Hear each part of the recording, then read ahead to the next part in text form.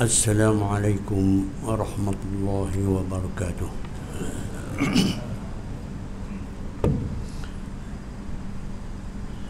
الحمد لله والصلاة والسلام على رسول الله وعلى آله وصحابه ومن نصره وباله رب اشرح لي صدري ويسر لي أمري واحلل عقدة من لساني يفقهوا قولي وما توفيقي إلا بالله.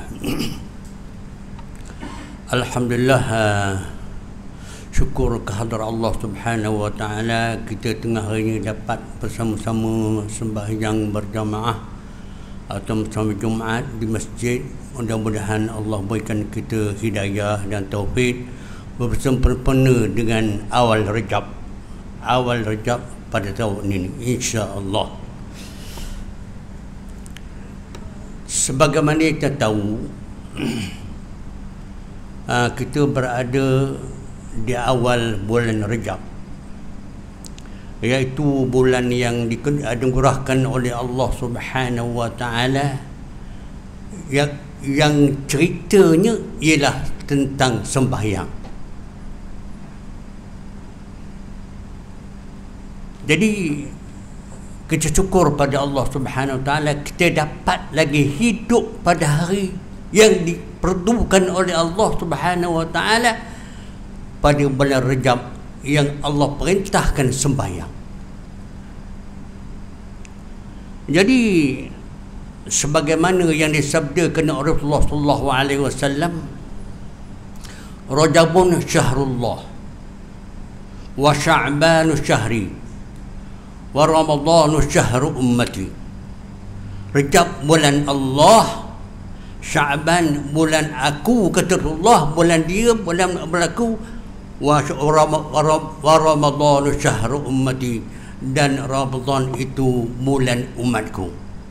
Jadi kita dapat alhamdulillah mudah-mudahan dapatlah sempat kepada Ramadan pada bulan ini tahun ini dan insya-Allah Rajabun syahrullah wa Sya'ban syahri wa Ramadan syahrul ummati kalau kita dapat tiga bulan ini ditakdirkan kita hidup. Alhamdulillah. Mudah-mudahan kita dikurniakan oleh Allah Subhanahu wa taala. Kurniaan yang baik ini yang diridai Allah Subhanahu wa taala dan sama-sama dapat manfaat daripada tiga bulan ini dan juga bulan-bulan lain. Jadi kita ingat pada kita yang dikatakan Rajabun Syahrullah iaitu bulan Allah.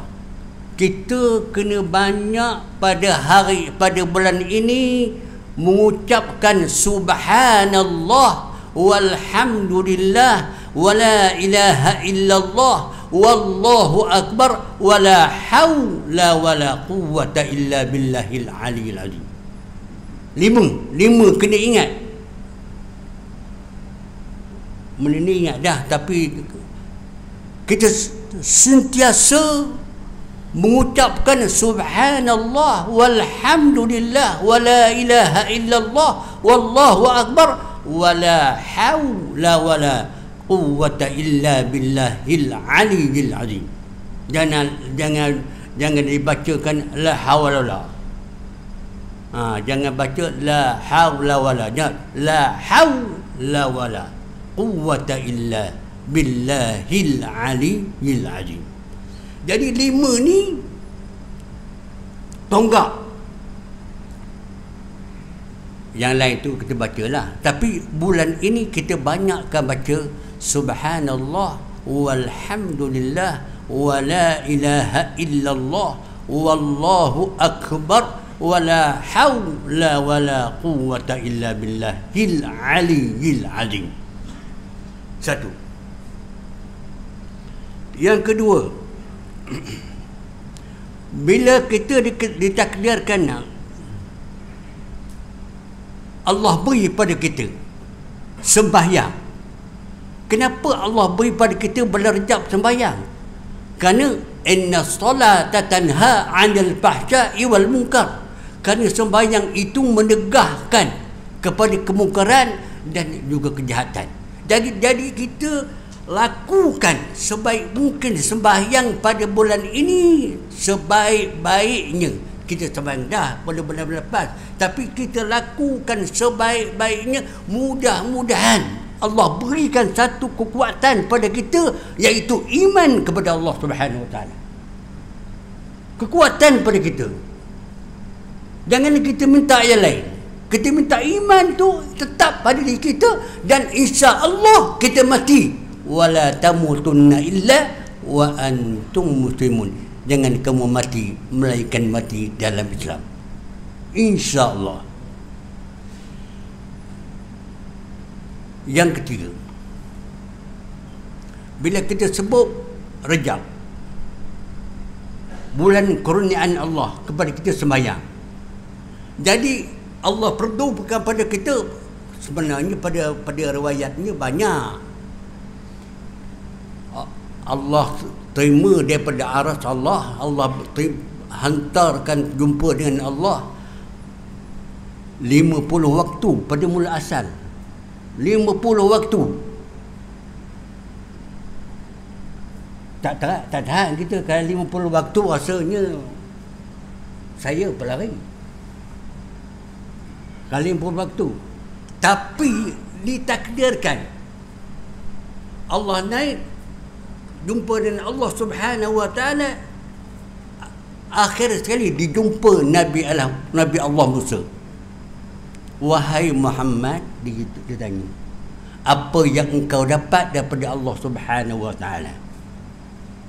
Iaitu kata Imam Muhammad aku dapat sembahyang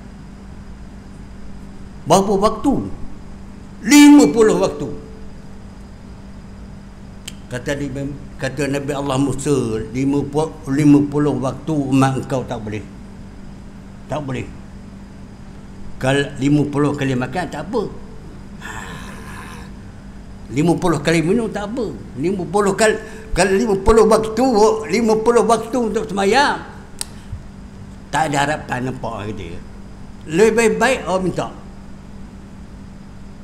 dia tak dikerengkah cerita minta lah minta minta sembilan kali. Sembilan sembilan kali lima.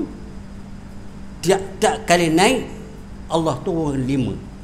Naik lagi lima. Sembilan kali sembilan kali lima empat puluh lima. Tinggal lima.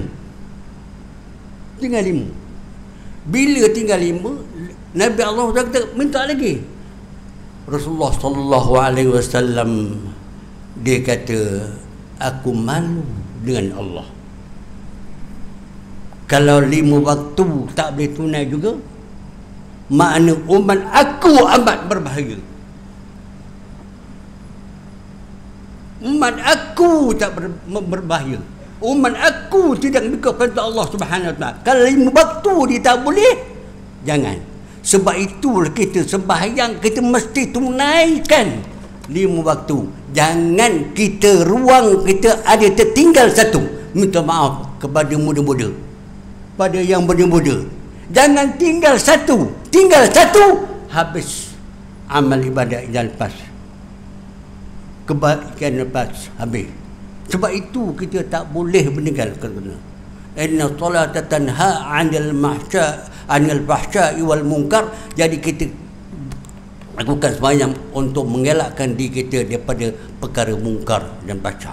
Maka dengan ini sebab itu kita man taraka salah kata Rasulullah sallallahu alaihi wasallam man taraka salata muta'ammidan faqad kafara jahara siapa yang meninggalkan semayang dengan sengaja kufur.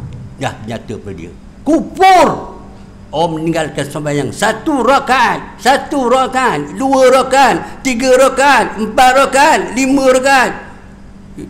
Tak ada lima. Empat dia. Satu rakaat, dua rakaat, tiga rakaat, empat rakaat. Tak ada lima. Ha. Maknanya siapa yang meninggal sama ada dua, sama ada tiga, sama ada empat. Jangan. Kupur kufur pada Allah Subhanahu wa taala.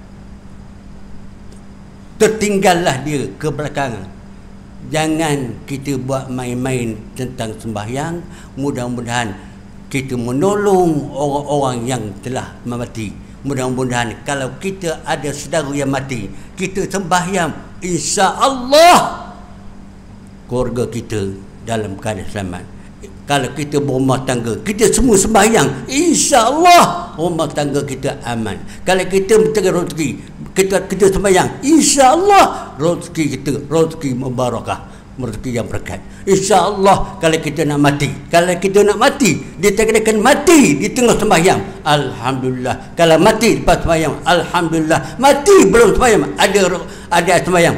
Alhamdulillah. Kita syukur pada Allah Subhanahu Wa Taala dengan ini. Kita dapat perlu kita bagi kita perintah Allah Subhanahu taala. Kita utamakan lain yang lain. Jangan kita utamakan perlu perintah Allah Subhanahu taala itu di situ sembahyang kepada kita diri kita selamat dunia dan selamat akhirat. insya-Allah. Amin. Yang ketiga yang keempat. Doalah kita اللهم بارك لنا في رجب وشعبان وشعبان وبلغنا رمضان Ya Allah ya Tuhanku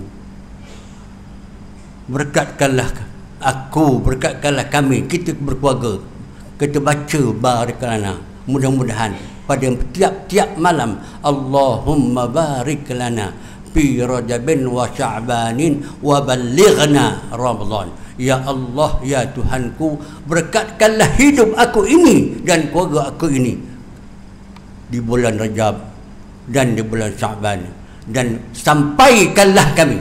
Maknanya kita minta panjang umur Sampaikanlah kami Di bulan Ramadan akan datang Dan seterusnya akan datang Dan seterusnya akan datang.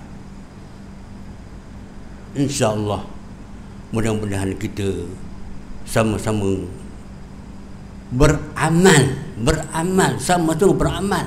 Masjid kita ini kalau siapa yang beramal dia akan menolong menolong rakyat dia.